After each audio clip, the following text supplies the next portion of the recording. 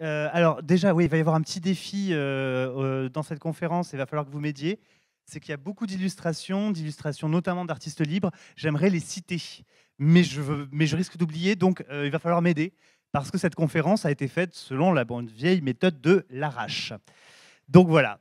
on va parler donc des carnets de voyage de Contributopia. ça va être un petit peu ben, le point sur les deux dernières années d'action de Framasoft. Euh, alors bonjour déjà, euh, moi c'est Pouillou. Euh, très brièvement, j'ai un parcours plutôt de... Je suis venu dans le libre par l'écriture, j'ai écrit des romans que j'ai mis dans le domaine public. Et puis bah, du coup, j'ai trouvé une maison d'édition qui s'appelle Framabook, qui est faite par une association qui s'appelle Framasoft. Et puis j'ai commencé bah, du coup à participer à ce projet d'édition collaboratif en tant que communicant euh, pour faire des petits dossiers de presse, des communiqués de presse, pour en parler aux gens, faire des stands.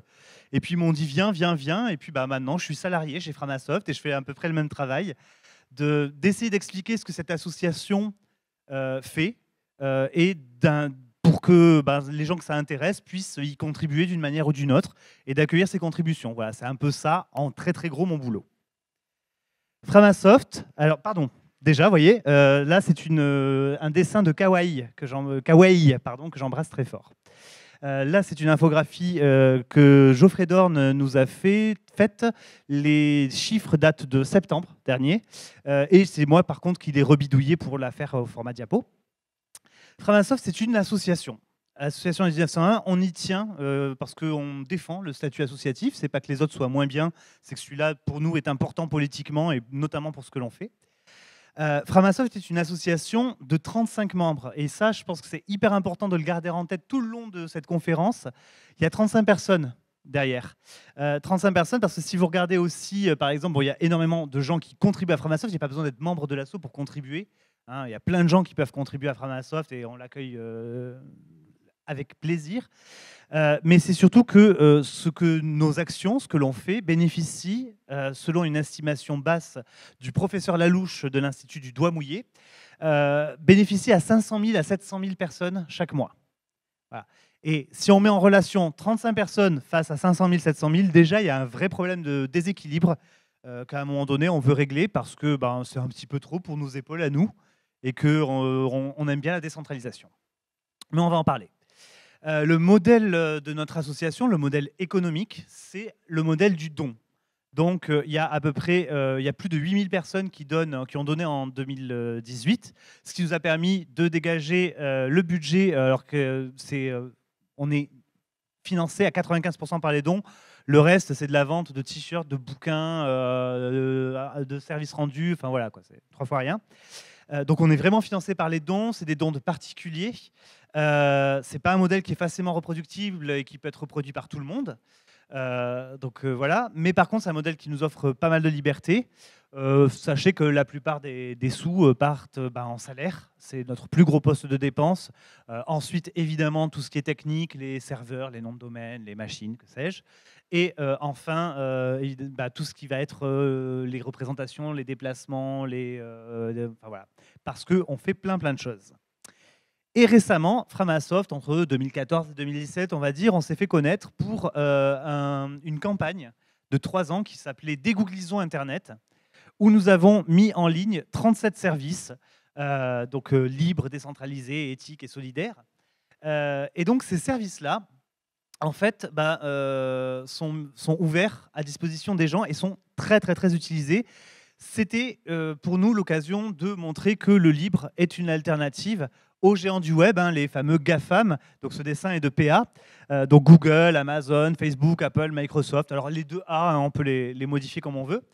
Euh, voilà, l'idée était de dire, regardez, c'est possible de, euh, de faire une alternative à ce que ces géants du web proposent. Et c'est le logiciel libre qui détient les clés de cette alternative parce que c'est vraiment fait autrement. Euh, donc voilà, si on évalue un petit peu ces trois ans de, de Internet, on a démontré que bah, le libre est une réponse solide. Euh, nous, ça nous a demandé un travail qu'on ne faisait pas auparavant. Euh, on faisait du code, mais plutôt à la marge. On faisait beaucoup plus de facilitation que de code. Et là, il y a un vrai travail d'éditeur et de mainteneur. finalement, on se retrouve. Alors, c'est pas du tout de l'orgueil de, de dire ça, mais vu ce que l'on voit autour de nous, à être la plus grosse offre mondiale en termes de services accessibles gratuitement, euh, c'est-à-dire à la fois euh, dans le nombre de services et dans le nombre d'utilisateurs et d'utilisatrices. On a vraiment l'impression que c'est, euh, ben, enfin voilà, il y en a plein d'autres. Hein, attention, faut pas, voilà, partout dans le monde, mais on a l'impression que c'est un petit peu la plus grosse proposition, la proposition peut-être la plus complète.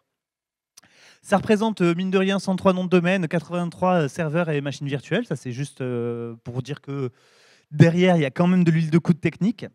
Donc voilà, 500 000 personnes qui bénéficient de nos services chaque mois. Euh, c'est beaucoup parce que ces personnes-là, euh, bah, quand leur pad ne marche pas, elles viennent nous voir, elles nous disent mon pad ne marche pas.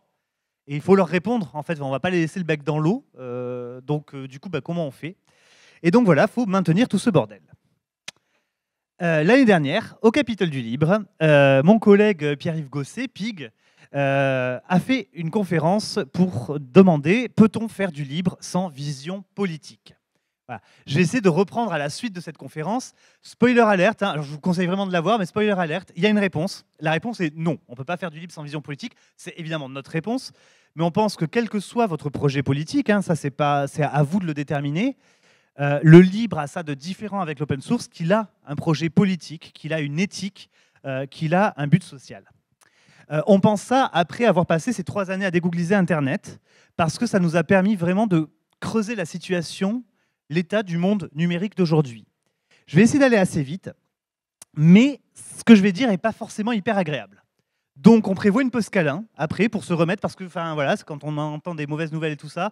Puis moi j'en ai marre franchement d'annoncer des mauvaises nouvelles, c'est pas agréable pour moi non plus. Donc euh, voilà, je prévois une pause câlin. Je ne sais pas qui est l'autrice de ce dessin, il me semble qu'elle est hispanophone. Si vous l'avez, euh, je veux bien. Mais voilà. Euh, est-ce qu'on fait comme chez Loftalmo Ça vous dit? Vous me lisez les lettres, alors c'est quoi la première là, là-haut? Google? Apple, ouais. Oui, Facebook Amazon Microsoft. Ok, on passe à la deuxième ligne. Netflix, ouais. Airbnb Tesla Uber. Attention, plus on s'éloigne, hein, c'est comme chez l'ophtalmo, plus c'est compliqué. Là, on part en Chine. Baidu, en effet. Alibaba, AliExpress, qui est une, une boîte de Alibaba. bah quoi, vous ne reconnaissez pas Tencent? Tencent, euh, qui est euh, aujourd'hui euh, au niveau capitalisation boursière plus important que Facebook. Et le dernier, Xiaomi. Voilà. Pourquoi je vous montre ça? Parce qu'à une époque, on parlait des GAFA.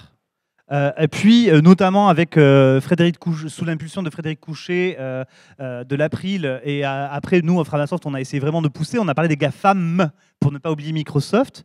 Puis, on a commencé à parler des NATU, hein, pour Netflix, Airbnb, Tesla, Uber, puis des BATIX.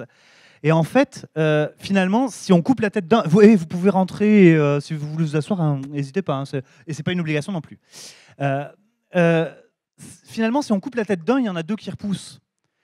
Euh, on, pensait que le problème c'était Google, on pensait que le problème c'était les GAFAM, on pensait que le problème c'était les GAFAM Natubatix. C'est pas le problème, c'est les furoncles. C'est pas la maladie. La maladie, elle est bien cachée en dessous et elle est autrement. Parce que bah, finalement, quelle est notre capacité à être libre?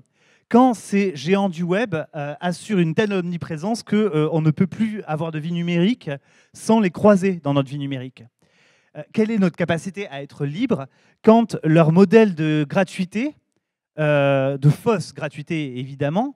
Euh, leur modèle de gratuité fait de nous non plus des consommateurs, des clients rois, parce que franchement, c'est chiant les clients rois, je ne pense pas qu'ils aiment ça. D'accord? Ça fait de nous du bétail. Hein. on est un peu les vaches à lait. Euh, ils nous vendent leur foin de publicité, puis ils nous traitent leurs données de l'autre côté. Quelle est notre capacité à être libre quand les différences de classe sociale en France suivant ce, bouquin de Dominique Pasquier qui est hyper important, mais aussi dans le monde, les différences de classe sociale font qu'il y a des différences d'utilisation du numérique? On parle de littératie numérique ou de pardon, numérique, c'est-à-dire la capacité à, comprendre l'outil numérique à l'utiliser? Euh, et que cette, euh, ces, ces, différences font que euh, les GAFAM sont suréquipés pour exploiter notamment les personnes les moins douées en numérique, et que nous, militantes et militants, de l'éducation populaire, du numérique, du libre, sommes un peu dépourvus face à ça parce que la demande devient extrêmement forte. Quelle est notre capacité à être libre? Quand bah, moi, par exemple, je suis à peu près dégooglisé des emails, mais ben, je suis victime de googlisation passive. Euh, voilà, comme le tabagisme passif, c'est la googlisation passive, c'est-à-dire que comme j'ai des, personnes qui me contactent et qui sont chez Gmail, eh ben, il y a une partie de mes conversations qui est toujours chez Gmail, alors que moi, j'ai fait le choix personnel de ne plus y être.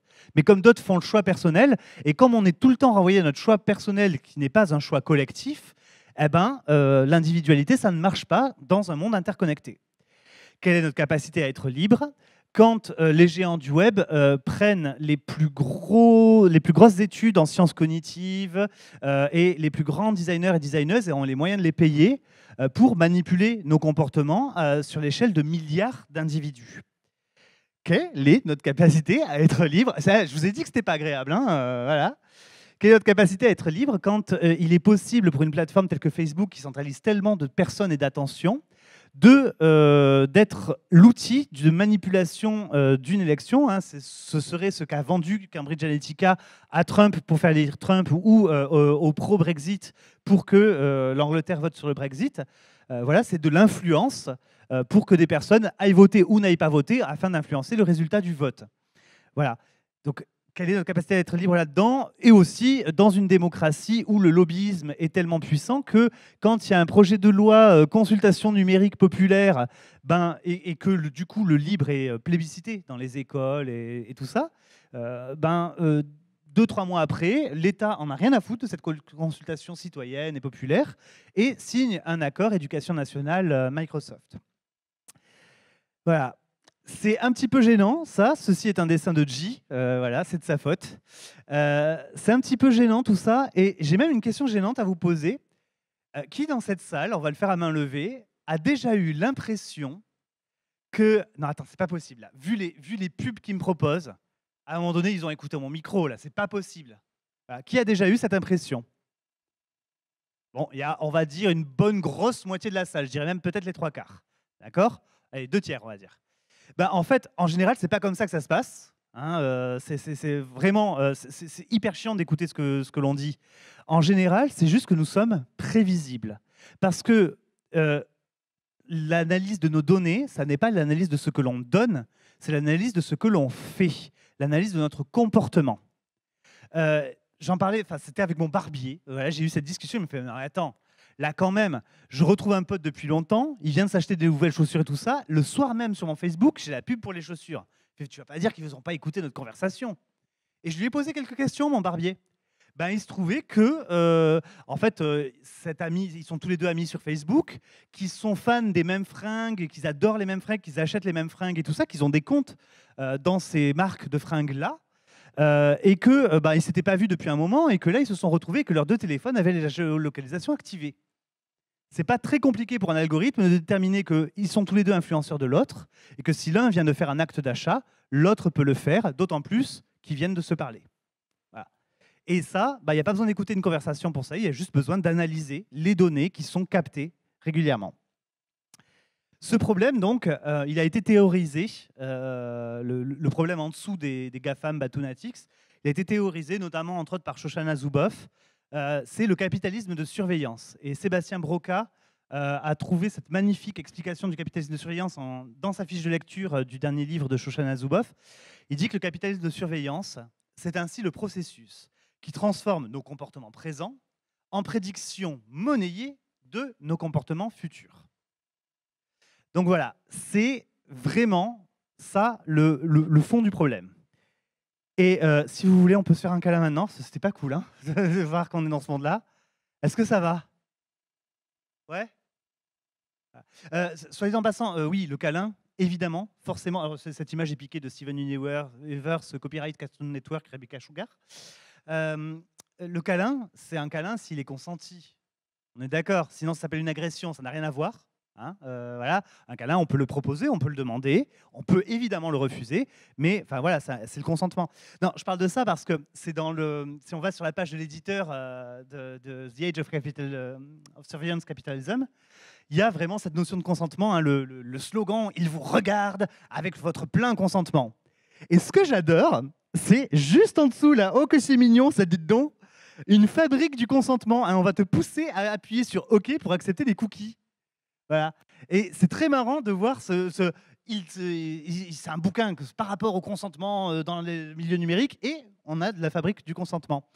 je dis ça parce qu'en fait, on a de la chance en France en Europe même, on a le RGPD, alors qui n'est pas parfait, euh, c'est pas le débat aujourd'hui, mais le RGPD a ça de puissant qu'il y a la notion de consentement qui est très clairement définie pour protéger nos données, le règlement général de protection de nos données, très clairement défini, le consentement doit être libre, on ne force pas une personne, il doit être éclairé et avisé, la personne doit être informée. Et ça, si on a euh, une notion légale de consentement aussi forte, aussi puissante, je pense que nous, libristes, pouvons remercier des années et des années de lutte féministe et des générations et des générations de militantes féministes euh, qui ont fait inscrire le consentement dans la loi comme étant un consentement libre, éclairé, avisé, euh, notamment dans les lois euh, ben, par rapport aux agressions sexuelles et aux viols. Et c'est assez intéressant de voir, par exemple, si vous parlez de consentement des données, vous pouvez montrer cette vidéo qui est une vidéo par rapport au consentement sexuel et qui dit que le consentement, c'est simple comme une tasse de thé. C'est-à-dire, c'est pas parce que je suis d'accord pour boire une tasse de thé que tu dois me la forcer à l'intérieur de la gorge. C'est pas parce que la semaine dernière, j'ai accepté de boire du thé que tu as le droit de venir chez moi cette semaine et de me dire hey, tu veux du thé Tu veux du thé Tu veux du thé? Voilà. En fait, bizarrement, on ne force pas quelqu'un à boire du thé. Si la personne en a envie, on n'en a pas envie. Et c'est là qu'on voit que finalement, euh, ben, les luttes féministes et les luttes libristes ont des points de concordance, ou en tout cas peuvent se rejoindre, s'aider les uns les unes les autres. Euh, c'est pas pour rien, c'est parce que bah, tout ça, c'est des problèmes systémiques. Euh, il y a une critique du livre de Shoshana Zuboff que je vous ai présenté tout à l'heure, qui est faite par Christophe Mazuti, euh, qui est membre de Framasoft et qui va bientôt sortir lui-même euh, un ouvrage au sujet du capitalisme de surveillance chez CF Éditions. Petite pub au passage, parce que ça va être très bien. et j'aime beaucoup cet article blog qu'il a posté parce qu'il explique que ce que propose Shoshana Zuboff, c'est un peu la différence entre un capitalisme mou euh, euh, et, un capitalisme de surveillance. Et c'est un peu entre la peste et le choléra. Et que finalement, en gros, si je vous la fais courte, le problème dans le capitalisme de surveillance, c'est pas que la surveillance. C'est aussi le capitalisme. C'est aussi un modèle de société. Voilà. Et c'est bien ça que nous, on s'est rendu compte en faisant trois ans de dégooglisant Internet, tout ça, c'est que le problème, c'est pas juste de changer nos outils, c'est que les personnes qui nous proposent de tels outils, qui nous proposent Facebook, qui nous proposent Google Docs, qui nous proposent euh, Skype, etc., ce sont des personnes qui ont une vision du monde et qui appliquent leur vision du monde dans leurs outils et qui ont envie de, contribuer à, cet avenir qu'elles imaginent. Et ben, peut-être que nous, si on ne veut pas les mêmes outils, c'est qu'on ne veut pas le même monde. Mais du coup, de quelle société rêve-t-on Et qui va contribuer à concrétiser ce monde-là? Et comment est-ce qu'on fait pour essayer de le faire? Voilà, pour essayer de bon, à notre petit niveau, mais essayons. Évidemment, cette non, pardon, et pas évidemment, mais la plupart des illustrations qui vont suivre sont de David Révois, euh, qui, euh, avec qui on a travaillé justement pour illustrer Contributopia. Parce que là, vous voyez, le monde dont on rêve, c'est une illustration. Euh, est-ce que vous voyez beaucoup de numérique là-dedans? Est-ce que vous voyez beaucoup d'ordinateurs? Pour nous, l'humain est vachement plus au centre que l'ordinateur. Et ça rejoint un petit peu euh, bah, Richard Stallman euh, et les, le logiciel libre, c'est un logiciel qui libère l'humain. C'est pas le code qui est libre. On s'en fout. Le code, c'est un outil qui libère l'humain. Donc voilà, c'est comme ça qu'on s'est dit que dégoogliser, ben, ça suffisait pas. Il fallait aller un petit peu plus loin, il fallait faire autre chose. Et on a essayé de faire Contributopia. Donc en gros, de faire des outils numériques euh, mais vraiment à l'intention de personnes, de projets, de, voilà, qui ne sont pas dans cette image de société de consommation, de surconsommation euh, du capitalisme, mais plutôt de la société de la contribution, qui ressemble vachement plus aux valeurs du libre. Ça fait deux ans qu'on avance sur Contributopia, deux ans qu'on explore ces univers, ces mondes-là, ces petites planètes. Et bah, du coup, deux ans d'exploration, on va vous montrer un petit peu nos carnets de voyage, qu'est-ce qu'on a mis dans nos carnets, qu'est-ce qu'on a fait en deux ans à ce sujet-là? Alors déjà, euh, on a pris en charge deux gros développements. Je vais commencer par le deuxième, ça me semble plus logique. Euh, et on va parler de Mobilisons. Euh, Mobilisons se veut à terme être une alternative aux événements Facebook, mais aussi aux pages Facebook et aux groupes Facebook. L'idée, c'est que bah, quand des marches pour le climat s'organisent sur Facebook ou que les Gilets jaunes s'organisent sur Facebook, comme le dit Olivier Herchild, c'est une bombe démocratique à retardement, en fait on donne des infos politiques importantes à Facebook. Donc comment est-ce qu'on peut créer un autre outil? Et là, du coup, nous, la première chose qu'on s'est dit, c'est qu'on ne sait pas. On ne sait pas, donc on va demander. Et puis, on va, c'est même pas nous qui allons demander parce qu'on a nos billets à nous, euh, de dev et de, et de geeks et de libristes. Donc, on a demandé à des designers d'aller interroger bah, des personnes militantes, euh, soit des, ça, il y a eu des personnes écolos, des personnes queer, des, enfin voilà, de diverses militances, des petits assos, des très grosses structures, et de bah, quel est le logiciel qu'elles voudraient. Voilà. Donc mobilisons, là si vous voulez aller voir, bah, vous allez sur test.mobilisons.org, la première bêta est sortie 7 octobre. Euh, on peut pour l'instant y faire des comptes, y faire des événements, c'est très sommaire. On va y rajouter des, des choses au fur et à mesure. Mais voilà, test.mobilisons.org. Et si vous voulez voir ben, euh, qu'est-ce qu'on prévoit de faire, c'est joinmobilisons.org. Euh, dans nos voyages, dans nos pérégrinations, on a commencé à travailler avec l'association Résistance à l'agression publicitaire. Euh, parce que, évidemment, ben, Google et Facebook étant quand même des gros, gros, gros publicitaires, il y avait des points de convergence. On a travaillé avec eux, on les a aidés à dégoogliser l'organisation d'un colloque, par exemple, qu'ils organisaient tout ça. Et à l'occasion, on s'est rendu compte qu'ils développaient un outil de pétition en logiciel libre, alternatif à euh, Change.org ou Avast, qui s'appelle Pétition. Et nous, euh, on n'arrivait pas à trouver du temps pour faire Frama Pétition. Donc on s'est dit, mais en fait, euh, ne réinventons pas la roue. C'est encore mieux si c'est pas Framasoft qui développe et qui maintient. Et c'est beau de montrer qu'une association qui n'est pas une association dont le but est de faire du numérique, c'est une association de résistance à l'agression publicitaire, bah, peut aussi participer au pot commun du numérique. Voilà, parce que cette association a besoin d'un outil. Et nous, peut-être Framasoft, du coup, notre rôle là-dedans, ça va être de mettre en valeur cet outil, de dire, regardez, là, si on, si on se met tous à aider eux, eux bah, on peut peut-être avancer parce que pour l'instant, leur outil marche bien, mais, bah, on ne peut pas faire euh, euh, plusieurs comptes de plusieurs personnes qui font des pétitions. En gros, si vous voulez le faire pour votre association, il faut l'installer sur votre serveur. Voilà, un multi-compte, etc., ça peut se faire, mais du coup, il ben, faut le mettre en valeur. Et c'est ce qu'on essaie de faire. On a aussi contribué à un outil libre, alors avec, euh, je ne vais pas citer tout le monde, mais c'est le euh, Bourgogne-Franche-Comté, avec l'April, avec pas mal de monde, un outil qui s'appelle Bénéva Libre, et qui permet en fait de comptabiliser les heures de bénévolat et éventuellement de les valoriser. Euh, c'est pas un truc qui nous enchante en soi. Je dire, le bénévolat, pour nous, c'est pas un truc qui rentre dans la société de quantification. Mais par contre, il s'y fait rentrer de force. Il y a une loi qui a été votée récemment et qui permettra que, euh, avec la reconnaissance des heures de bénévolat, on pourra obtenir plus d'heures de formation sur notre compte emploi formation, je crois, un truc comme ça. Donc, à un moment donné, il va y avoir besoin que les associations puissent comptabiliser les heures de bénévolat et, euh, et attester, si des bénévoles le souhaitent, attester qu'il y aura tant d'heures de bénévolat qui a été fait et qu'il y ait un bénévolat qui est estimé à tant d'euros. et du coup, le, comité de pilotage autour du projet Bénéva Libre, ce qu'ils se sont dit, c'est euh, là, il y a un problème. Parce que si on laisse la Startup Nation en fait faire ça, comme on sait que le code fait la loi et que l'outil change les comportements ou change la vision des choses, il y a un danger potentiel. Donc, il vaut mieux que le libre occupe la place en premier. Et c'est comme ça que l'outil Bénéva Libre est fait pour permettre vraiment aux associations de garder le pouvoir sur comment est-ce qu'elle considère les heures de bénévolat ou pas, sur comment est-ce qu'elle les chiffre ou pas, qu'est-ce qui est chiffré, qu'est-ce qui est hors du chiffrage, etc. En gros, vraiment, c'est un, outil qui a le but de, rendre le pouvoir aux associations et qu'elles ne soient plus pas les clients vache à euh, d'une entreprise du capitalisme de surveillance. Tout ce que je vous présente là, ce sont des articles aussi qu'on sort sur le Framablog hein, en ce moment et jusqu'à fin décembre. Euh, et du coup, il y en a un aussi, on a consacré un temps à faire le bilan de nos errements, de nos fausses routes, de nos erreurs. Euh, parce que, ben, euh, évidemment, comme tout le monde, on se plante, on est humain. et que c'est important, enfin, je veux dire, c'est nos erreurs qu'on apprend. Et en général, dans le milieu associatif, on a tendance à mettre en valeur ben, nos victoires. Et c'est important, ça, ça fait du bien, ça réchauffe à l'intérieur. Donc c'est très important. Mais c'est important aussi de dire, mais là, on s'est planté, là, on s'est foiré, là, on l'a pas vu, là, on n'a pas eu le, on n'a pas eu les épaules, on n'a pas eu l'énergie, on a, été fatigué. Euh, voilà. On a appris euh, à, prendre soin de nous, à savoir dire non aussi. Euh, Framasoft, par exemple, là, nous, une des plus grosses leçons aujourd'hui, c'est d'apprendre à savoir dire non. À savoir dire oui, ton projet est formidable, oui, il pourrait changer le monde, mais je suis désolé, on en a 15 dans le sac à dos, on n'a pas de place pour plus, donc voilà, on ne peut pas faire plus. Euh, et donc, ça nous semblait important à un moment donné de, faire ça, d'autant plus que ben, euh, ça montre, euh, ça remet les gens à leur place d'humains. Voilà, les humains se trompent et on est des humains. je vous parlais donc de deux gros développements logiciels.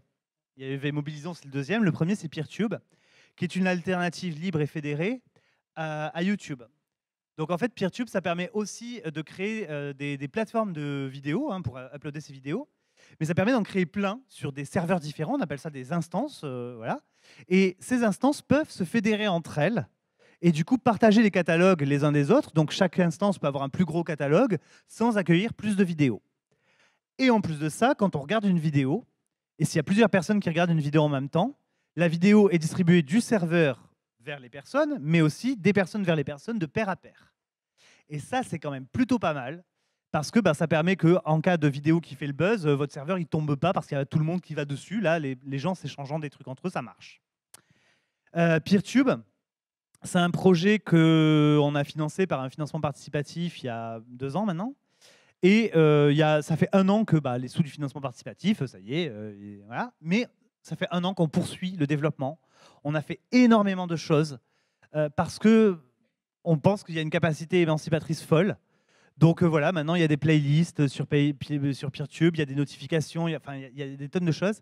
Et là, on vient de sortir une V2 dont l'objectif principal est de euh, d'aider les personnes qui créent des instances, donc les admins, euh, d'aider ces personnes à identifier leur instance, à dire euh, voilà qui je suis, voilà pourquoi je le fais, voilà mes conditions, voilà ma politique de modération peut-être, voilà ce que je pense. Ben, tiens, moi, moi chez moi, les vidéos, même Not Safe for Work, les vidéos critiques, on va dire, même floutées, je veux pas, je me fédérerai pas avec ça et je veux pas les avoir. Donc vous n'en verrez pas chez moi. Ou alors au contraire, moi, je, aucun problème, attention, vous en verrez chez moi.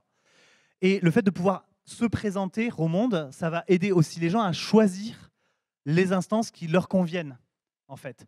Et du coup, il y a eu aussi toute une refonte du site joinpeertube.org, qui est une présentation de l'outil et de la fédération, euh, justement, qui va se nourrir de ça. C'est-à-dire qu'à un moment donné, vous avez un petit formulaire, si vous cherchez une instance, et vous êtes quoi? Vous êtes plutôt euh, vidéaste, plutôt euh, visionneur, visionneuse Vous voulez quoi comme instance? Dans quelle langue, etc. Et on va vous en recommander des personnes qui, se seront, euh, qui auront rempli le formulaire de déclaration. voilà. Euh, sur PeerTube, non, ça je vous en parle après, pour le futur. On travaille aussi euh, avec un collectif qui s'appelle La Coalition. Je crois que c'est LA pour Libre Association, mais je ne suis plus totalement sûr, pardon. c'est un collectif en fait qui a répondu à une demande de plusieurs fondations. Le projet s'appelle Civitates ces fondations se sont rendues compte, notamment avec euh, des événements, je ne sais plus si c'est en Hongrie ou en Bulgarie, pardon, euh, qu'il euh, y a des associations, je sais pas, de droits aux migrants, de, contre les violences faites aux femmes, etc., etc., qui se font virer de certains pays où ça commence à se sentir mauvais au niveau démocratie. Et du coup, on demandait à tous les pays d'Europe ben, s'il y avait des gens qui pouvaient se rassembler pour, à un moment donné, observer le rétrécissement de l'espace démocratique Qu'est-ce que la société civile peut encore faire, ne peut plus faire, et comment ça se passe par rapport aux forces du gouvernement, etc. Et euh, d'observer cela, et donc de, proposer aussi peut-être des, pistes de, solutions, d'avancées, etc. Et du coup, Framasoft, nous, on intervient euh, au sein de ce collectif, évidemment, pour apporter un savoir numérique. Et ce qui est très intéressant, c'est que, euh, du coup, bah, quand tu travailles avec tous migrants, euh, une association d'aide aux migrants, quand tu travailles avec une association contre l'islamophobie euh, ou euh, contre les violences faites aux femmes, tu te rends compte que la licence du logiciel, c'est pas forcément le truc qui les intéresse le plus, en fait. Et attention, que le logiciel respecte leur liberté, leur contrôle, leurs données, ça de suite, ça leur parle plus. Et c'est intéressant de sortir de notre petite bulle parce que ça nous permet justement de se rendre compte des attentes d'autres personnes qui sont moins passionnées que nous par le sujet du numérique. Euh, on contribue aussi à un projet qui s'appelle Mon parcours collaboratif. Il faut que j'aille un peu plus vite. Euh, mon parcours collaboratif, donc euh, l'idée, c'est justement pour faciliter le, choix d'un outil numérique. En gros, c'est une espèce de site web. Vous arrivez dessus, il y a plusieurs scénarios qui se proposent à vous, et genre vous dites, bah, je veux collaborer avec mes collègues. Ok, vous voulez collaborer en synchrone ou en asynchrone, vous voulez collaborer sur du texte, sur de l'image, sur des tableurs, etc. Et au fur et à mesure, comme ça, avec des questions, etc., vous faites des choix et ça va vous recommander un outil, évidemment libre, décentralisé, etc. Euh, ça va vous recommander un outil pour vos usages. Et ça, c'est vraiment quelque chose qui manque euh, régulièrement de euh, mais je sais pas, ok, je veux, ok, je veux pas utiliser Google Docs, mais j'utilise quoi? Ben Là, ça peut permettre aussi d'aiguiller mieux en posant les bonnes questions aux personnes. Euh, nous sommes en train de finir. Alors là, on est en fond à travailler dessus. On espère qu'on sera dans les temps, mais bon, bah, si c'est pas tout prêt, pas tout fini, euh, ne nous en voulez pas. Avec la Ligue de l'enseignement, euh, qui est une fédération d'éducation populaire en France, qui est représentée dans tous les départements en France métropolitaine et d'outre-mer, a un MOOC, donc un cours massivement ouvert et en ligne, sur les chatons. Donc l'idée, donc c'est un collectif d'hébergeurs alternatifs, hein, les chatons. L'idée, c'est vraiment Internet, pourquoi et comment reprendre le contrôle. Et là, on, on finit le module 1 où on va essayer d'expliquer ben, un peu ce que j'ai commencé dans ma conférence au début. Euh, voilà, Internet, ben, déjà, qu'est-ce que c'est tout ça pour prendre vraiment les gens euh, au niveau où ils sont euh, et, comment ça a foiré et quelles sont les pistes pour s'en sortir. Voilà. donc, on espère sortir ça assez vite. On va aussi parler pas mal des partenariats euh, qu'on a euh, noué euh, ces, deux dernières années. et ces partenariats, on parle vraiment, nous, beaucoup d'archipélisation, parce que ça nous semble vraiment important de, de, dire que c'est pas parce qu'on travaille avec machin que on doit se confondre avec machin, que nous légitimons machin. Alors ça, déjà, le fait de légitimer les partenaires, c'est un truc, pour moi, ça sent tellement hautain, genre je, je Tu vois, c'est juste pas possible, quoi. Euh, on, a vraiment, euh, enfin voilà, c'est pas parce qu'on travaille avec euh, X ou Y qu'on est d'accord sur tout avec X ou Y. Ça veut dire quand même qu'on est chacun sur notre île, mais qu'on baigne dans les mêmes eaux. Faut pas déconner, on a des valeurs similaires. voilà. Mais ça veut pas dire qu'on est d'accord sur tout et qu'on légitime tout. Ça veut dire juste qu'on crée des ponts entre nous et que, en allant visiter les îles des uns, des unes et des autres, ça peut nous permettre d'avancer. Et dans ces partenariats, bah, par exemple, on peut parler de la Fédération française des motards en colère, qui fait un travail euh, vraiment euh, admirable au niveau euh, justice sociale, égalité sociale. Mais par contre, moi, par exemple, la moto, c'est un truc qui ne me parle pas, mais du tout. voilà. Et de l'autre côté, on va travailler aussi avec le mouvement Colibri, qui est plutôt dans l'écologie. Donc là, pareil, la moto, l'écologie, je ne sais pas comment ça se concilie tout ça. voilà. Et où on est d'accord sur plein de choses, on n'est pas forcément d'accord sur tout non plus.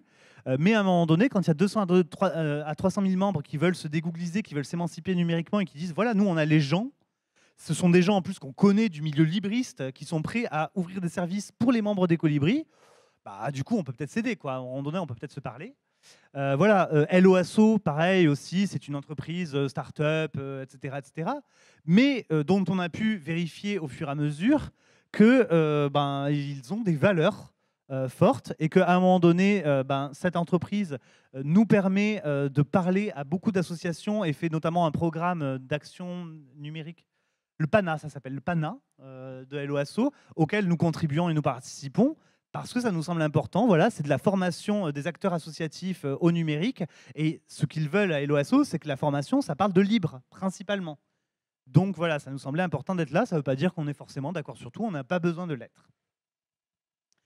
on travaille avec le collectif, pardon, la coopérative AnimaCop, qui est une coopérative de formateurs et de formatrices, euh, sur les métacartes, euh, donc euh, il y a déjà un, premier jeu de métacartes qu'ils ont fait, et là il y avait un métacarte dégooglisons Internet qui devait se faire, sauf qu'en fait non, ça va pas s'appeler dégooglisons Internet parce qu'on a bien compris que dégoogliser ne suffit pas. Donc ça va être des métacartes sur le numérique éthique. les métacartes, c'est quoi? C'est un petit jeu de cartes à jouer et qui permet d'animer comme ça une, un échange, une discussion pour trouver le bon outil ensemble. Et là, ça va être des notions et des outils pour, par rapport à tout ce qui est numérique, éthique. Euh, donc, éthique, ça veut dire libre, décentralisé. Enfin, voilà, on n'a pas encore très bien défini en soi, mais c'est justement pour montrer ce, numérique qui nous laisse le pouvoir et qui ne nous prend pas pour du bétail.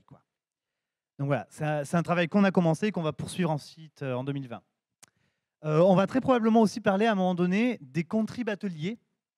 les contrib-ateliers, donc, c'est fait à l'origine par des membres de Framasoft, mais on veut surtout pas que ce soit limité à Framasoft, surtout pas.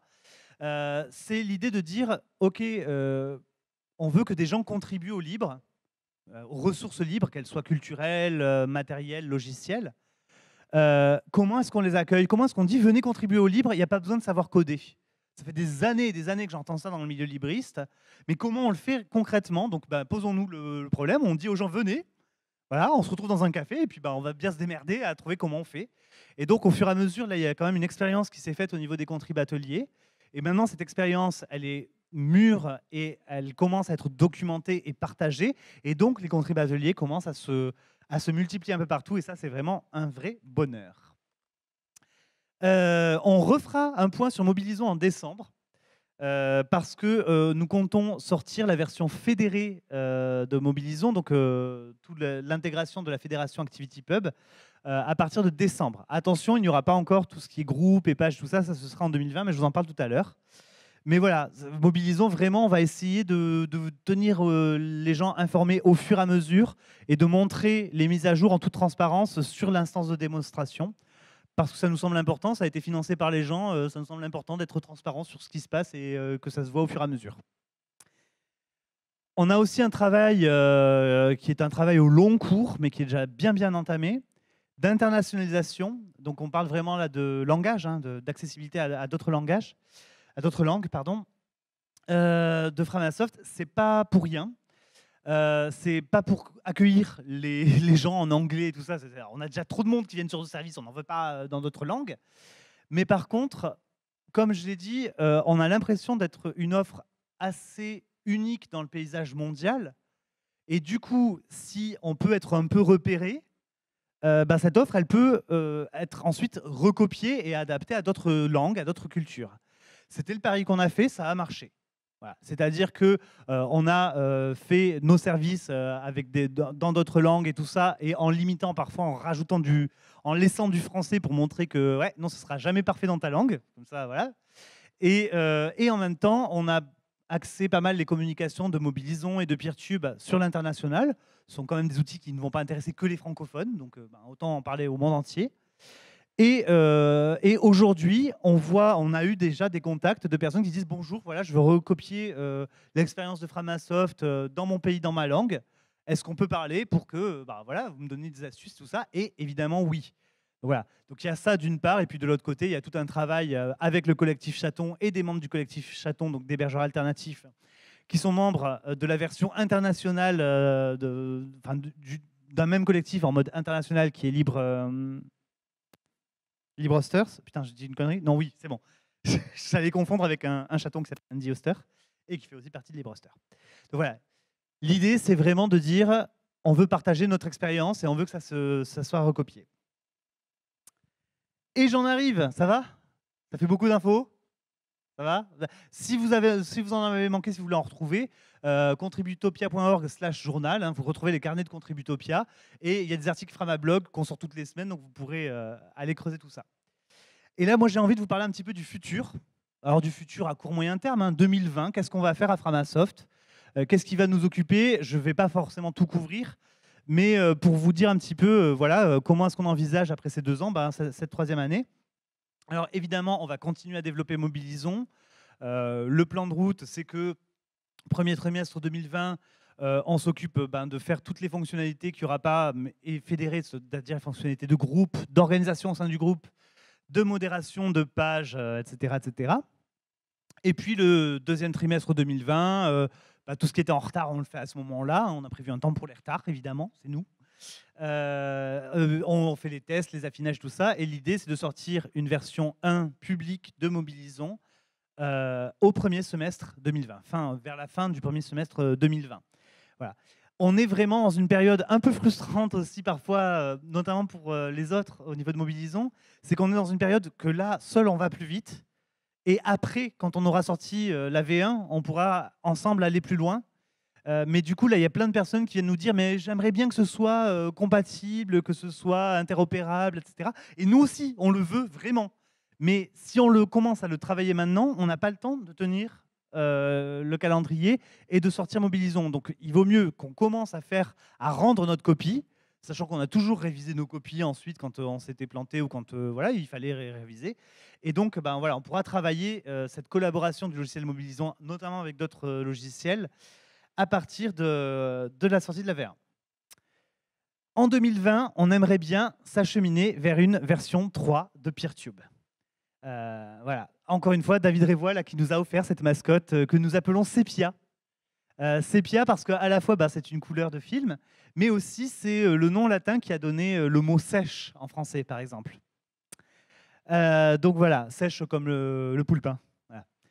Bref, euh, donc Sepia, euh, PeerTube V3, l'idée, euh, c'est que là, par contre, on va avoir vraiment besoin bah, d'aide et de financement. Donc je pense qu'on va repartir à un moment donné sur un crowdfunding parce qu'on a des grosses, grosses ambitions pour PeerTube. allez, je vous donne la petite et la grosse. La petite ambition, ça fait la petite commission et la grosse commission. Je non, je viens de réaliser. Pas grave. Donc la petite ambition, c'est par exemple un outil qui permettrait de prendre euh, un bout de telle vidéo, un bout de tel autre, un bout de tel autre, et de faire un remix comme ça.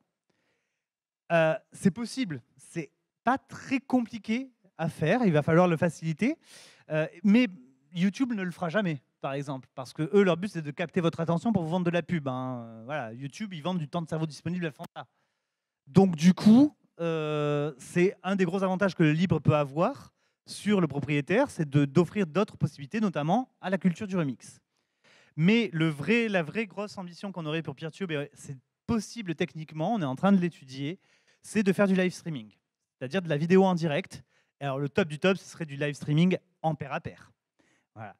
Euh, on est en train d'étudier. Euh, on vous dira si on peut ou pas et comment et, combien et tout ça. Mais voilà, ça va être. Euh, ce, serait le gros gros défi de 2020. Évidemment, nous allons continuer à faire de l'éducation populaire aux enjeux du numérique. J'ai envie de choquer un petit peu parce qu'on est au Capitole du Livre, donc j'ai envie de, provoquer un petit peu. Framasoft, on ne se décrit plus, enfin, on se décrit actuellement comme association d'éducation populaire aux enjeux du numérique. Est-ce que vous, venez d'entendre le mot libre dans cette phrase? Non. Ça ne veut pas dire qu'on euh, n'est plus avec le logiciel libre, évidemment. Le logiciel libre est une condition essentielle et nécessaire à cette émancipation numérique, à cette éducation populaire au numérique. Mais elle n'est pas suffisante. Et c'est peut-être une des réalisations aussi dans Dégooglisé ne, ne suffit pas. C'est peut-être ça, c'est que finalement, c'est pas juste du logiciel libre. Il faut du logiciel libre, il faut de la décentralisation. Tant que faire se peut, il faut du chiffrement. Euh, il faut plein de choses, en fait. Il faut, euh, il faut de l'humain. Il voilà. Donc finalement, le libre en soi ne suffit plus. Il est absolument nécessaire. Hein. on ne pourra pas faire sans mais ça ne suffit plus. Et c'est ça qui est intéressant finalement, c'est que notre communauté libriste, on la voit aussi traversée par plein d'autres choses. Euh, typiquement, je vois beaucoup de personnes dans le logiciel libre s'intéresser aujourd'hui au low-tech ou au slow-tech et à comment faire des sites web ben, qui ne prennent pas énormément de, ressources, d'énergie, etc. C'est hyper intéressant parce que ben, si on, mélange ça avec des visions euh, d'effondrement de notre société thermo, euh, thermo-industrielle, ben, du coup, ça le libre peut proposer des choses très intéressantes si à un moment donné, euh, il y a un effondrement qui se passe. Donc voilà. Bref, j'ai divergé. Euh, mais tout ça pour dire qu'on va continuer évidemment à faire des Framabook, à faire le blog, à faire l'annuaire Frama Libre, à faire des conférences, des événements, des choses comme ça, euh, à faire des outils de médiation numérique. Je parlais des métacartes tout à l'heure auxquelles on a contribué, auxquelles on va continuer à contribuer évidemment. donc voilà. Pour ça, il va falloir libérer le sac à dos on a annoncé en septembre que nous allons déframasoftiser Internet. Euh, ce tableau a été fait par Maïwen, que j'embrasse très fort. Je l'ai juste bidouillé. Euh, alors, s'il est moche en haut ou en bas, c'est ma faute à moi. Je l'ai bidouillé pour qu'il rentre dans des, dans des diapos. Hein. Donc voilà, nous allons fermer euh, quelques services. vous voyez bien qu'on on va les fermer en prévenant longtemps à l'avance, etc. On, on échelonne ça sur deux ans. Ça nous permet, nous, de libérer le sac à dos, mais on ne va pas vous laisser comme ça. Par exemple, aujourd'hui, on a déjà fermé Tonton Roger, notre moteur de recherche Framabi qui ne marchait plus. C'est simple, techniquement, il ne marchait plus. Mais si vous allez sur framabi.org ou sur tonton tontonroger.org ou sur trouvons.org, vous trouverez cette page qui vous dit ben voilà, ce service il est fermé chez nous, mais vous pouvez aller ailleurs. Et on a confiance en, ces gens-là. On essaie de faire rebondir la confiance que les gens nous ont témoignée en retenant nos services vers d'autres services qui sont totalement disponibles. Et évidemment, on leur dit aussi, si vous voulez l'installer sur votre serveur, c'est possible. Hein, euh, toujours, euh, toujours ça. Donc voilà, l'idée, c'est vraiment ça pour les services que nous allons fermer, c'est de faire rebondir ailleurs, de donner d'autres solutions, en fait, de ne plus être l'endroit où l'on va, mais l'endroit où l'on passe, l'endroit où l'on trouve d'autres portes. Évidemment, on va aussi faire baisser la pression. Il y a des services qui vont être restreints. Restreints, ça veut dire quoi? Ça veut dire qu'on va continuer le service pour les gens qui y sont, qui ont un compte et tout ça, et pas de problème. Par contre, on va fermer la porte aux nouveaux euh, et aux nouvelles à début 20, 2021 ou mi-2021. Tout ça, c'est du travail. Hein. Euh, voilà. Et pourquoi est-ce qu'on fait baisser la pression sur nous? Bah, C'est pour favoriser la diversité, et la diversité, c'est la décentralisation. Parce que si on veut bouffer les gros euh, poissons des GAFAM, etc., il faut que nous soyons divers et que nous nous mettions ensemble. D'accord? Euh, Cette image est de David Révois, tirée de sa BD Pépère et Anne Carotte. Donc voilà. Du coup, à un moment donné, le fait de dire attendez, nous, euh, voilà, euh, on garde les gens qui sont là, enfin, on, garde le service pour les gens qui sont là, mais on ferme les portes. Ça permet aussi que les gens s'intéressent aux, autres portes qui existent et qui sont très importantes. On va quand même garder l'essentiel des services présents, ceux qui sont le plus utilisés, etc., etc. Mais surtout, euh, je ne sais pas si vous avez lu cet article, à la fin, on annonce un nouveau service. J'ai l'honneur de vous donner son nom en exclusivité internationale aujourd'hui de ce nouveau service. Euh, même des membres de Framasoft présents dans la salle ne le savent pas, ce nom. C'est pour une bien raison, c'est que c'est une grosse connerie. Donc voilà, on va faire Frama truc qu'avec un seul compte, j'ai mes fichiers collaboratifs, mes contacts, mes agendas, mes notes, mes images, mes albums, mes visio, mes mind maps, mes flux, etc. En fait, on veut juste faire quelque chose qu'on nous a demandé depuis très longtemps. Euh, c'est un compte unique avec tous les services. Et c'est très simple, on va se baser sur Nextcloud. Parce que Nextcloud est une solution qui répond à 80% des besoins de 80% des gens quand on y met tout un tas d'applications. Nextcloud, à l'origine, c'est une alternative à Dropbox. Ça permet de créer euh, sur son serveur une alternative à Dropbox, euh, c'est-à-dire de la synchronisation de fichiers. Mais il y a aussi des applications pour faire du contact, de l'agenda, de la prise de notes, de l'image de l'album, euh, de la visioconférence, du chat, évidemment pour travailler les fichiers collaborativement avec Collabora Online ou OnlyOffice, il y a moyen de faire du, du, document collaboratif ou de la feuille de calcul collaborative. Bref, avec un seul compte, on a tout. Et ça, notamment dans le milieu associatif auquel on s'adresse régulièrement, c'est extrêmement, extrêmement, extrêmement demandé. Alors, le problème, c'est que si on fait ça, on sait qu'on va avoir des dizaines de milliers de comptes dès le départ. Ça va coûter une blinde. D'accord? Ça, va coûter une blinde, ça va être très compliqué, mais on veut quand même le faire. Attention, l'offre sera limitée. C'est-à-dire que l'idée est vraiment de... Euh, ben, on va copier un peu Microsoft, hein, la première dose est gratuite.